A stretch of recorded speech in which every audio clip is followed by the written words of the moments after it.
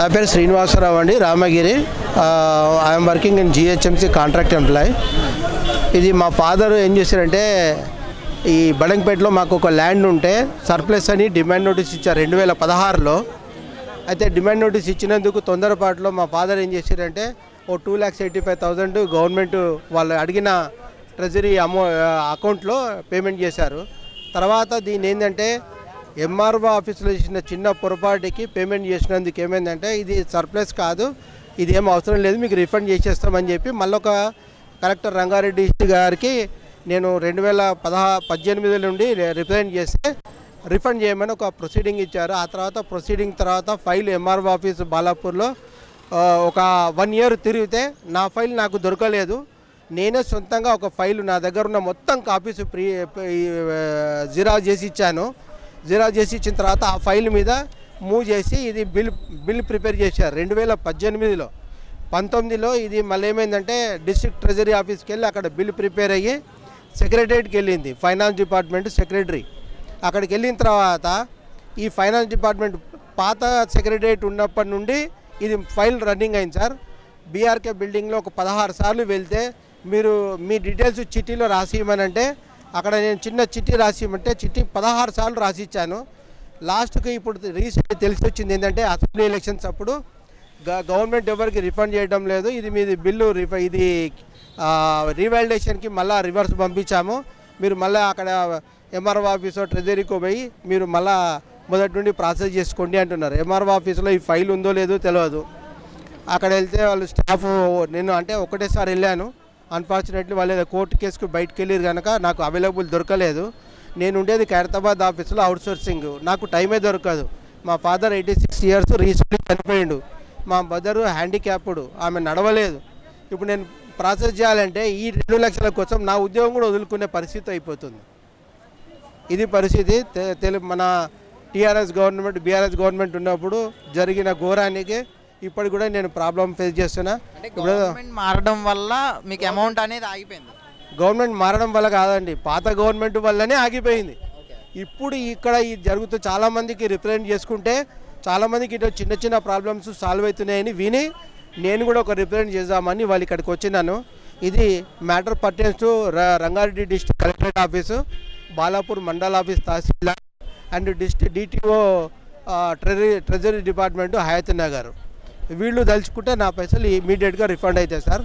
ఫైనల్గా దేవుడు వరం ఇచ్చిన పూజారి కనుకరించాలంటే సెక్రటరీలో సెక్రటరీ ఫైనాన్స్ గారు దీనికి ఓకే చెప్పి రిఫండ్ చేయాలి.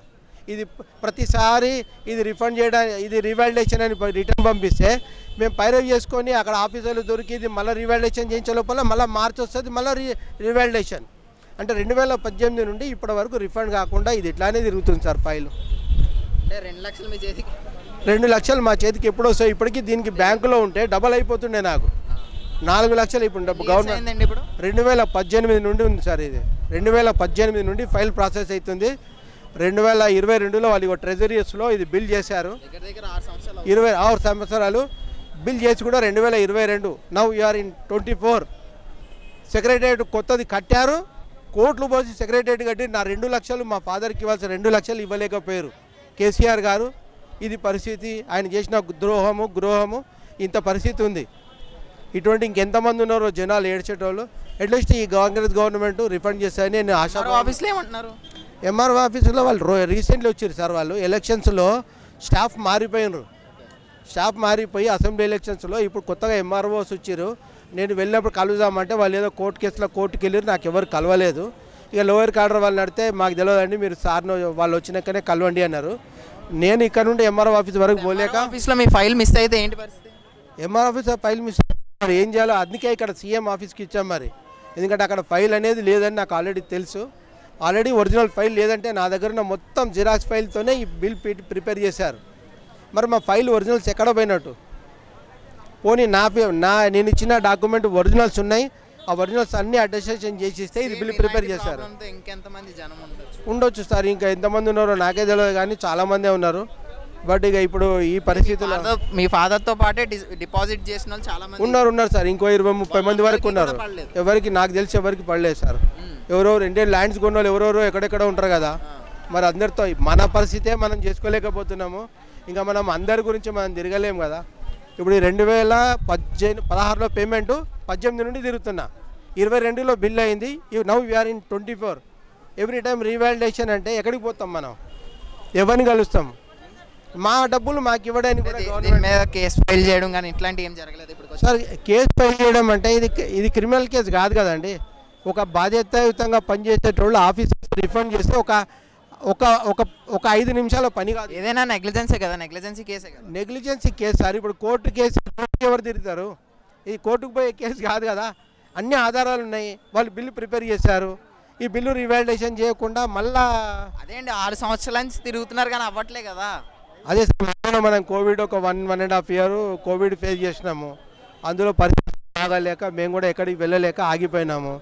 ప్రాసెస్ అవుతుంది కదా గవర్నమెంట్లో ఏదైనా ఇంకోటి ఏంటంటే టీఆర్ఎస్ గవర్నమెంట్లో రిఫండ్ ఇచ్చేది మాత్రం ఎవరికి ఇవ్వలేదు.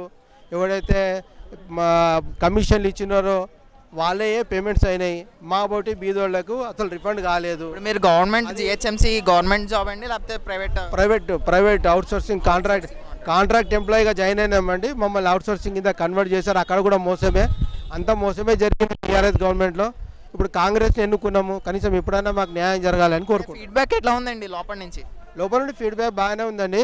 నాకు తెలిసి ఇప్పుడు కంప్లైంట్స్ చాలామంది ఇచ్చిన వాళ్ళకి సాల్వ్ అవుతున్నాయి. వన్ బై వన్ ఇక్కడ సీఎం క్యాంప్ ఆఫీసులు ఇచ్చే ప్రతి లెటర్కి ఇప్పటి వరకు అంటే కొంతమందికి ఇట్లా ల్యాండ్ ఇష్యూస్ కానీ ధరణి ఇష్యూస్ కానీ బాగానే సెటిల్ అయిపోతున్నాయి కలెక్టర్ లెవెల్లో ఆ, అయిపోతున్నాయని తెలిసి నేను ఈ రోజు ఇక్కడికి రావడం జరిగింది. ఇప్పుడు దాకా మేము మాట్లాడిన దాంట్లో పాజిటివ్గా చెప్పింది మీరే ఫస్ట్. ఎందుకంటే చాలా మంది నేను కాదండి అంటే నేను చెప్పడం కాదు.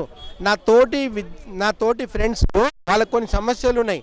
ధరణి ఇష్యూలా కానివ్వండి వేరే ఎటువంటి రిఫండ్ ఇష్యూస్ కానివ్వండి ఏదైనా పర్సనల్ అంటే ఇంటి చిన్న చిన్న విషయాలు కలెక్టర్ లెవెల్లో సర్దుకొని పోయే ఆ ఇష్యూలన్నీ సెటిల్ అవుతున్నాయి. అవుతున్నాయని తెలిసిన తరుణంలో నేను ఈరోజు రావడం జరిగింది ఇక్కడ. ఇప్పుడు ఏదో ఇచ్చేస్తున్నాం ఇక్కడ వాళ్ళు ఏదో పడేస్తున్నారని కాదు అవుతున్నాయి. ఇట్ విల్ టేక్స్ అంటే గవర్నమెంట్ మొన్ననే వచ్చింది కనుక ఇప్పుడు ఆల్రెడీ అవుతున్నాయి అని తెలిసి నేను వచ్చాను ఇక్కడికి. అంటే ఎవరు నెగిటివ్ మాట్లాడారు నాకు తెలియదు సార్. నేను ఒకరికి అవుతుంది అంటే నేను కూడా పాజిటివ్ మేనర్లో ఇక్కడికి వచ్చిన. ఇప్పుడు మీరు నన్ను ఇంటర్వ్యూ చేస్తారు అవుతుందనే ఆశిస్తూ లెటర్ ఇచ్చిన నేను. రైట్ సార్ మీ ప్రాబ్లం ఏదైనా సాల్వ్ అవ్వాలని కోరుకుంటున్నాం. Thank you so much right sir